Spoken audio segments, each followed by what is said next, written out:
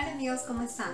Bienvenidos al video de estilo de vida de esta semana, donde vamos a hablar de cuánta fruta debes comer. Esta vez lo vamos a hacer en español, como se habrán dado cuenta.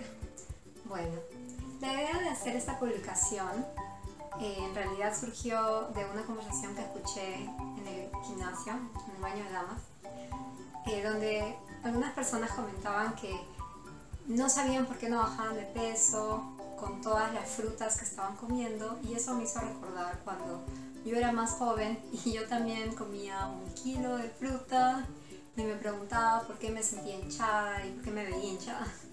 Entonces, lo que a mí me hubiera gustado saber en ese momento era que si bien la fruta es buena para ti, en realidad no en exceso, como toda cosa, ¿no? Siempre es bueno en moderación. Eh, algunos especialistas recomiendan de 2 a 3 porciones, que pueden ser 2 a 3 frutas.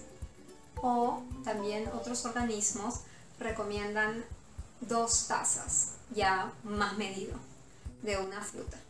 Entonces ese más o menos es el rango que es similar. Espero que les haya gustado este video. Les agradezco mucho que hayan llegado hasta el final. Y eh, me gustaría mucho que puedan visitar muchaale.com para conocer más sobre esta publicación y a suscribirse para recibir más videos como este. Yo los veo en la próxima. Chao.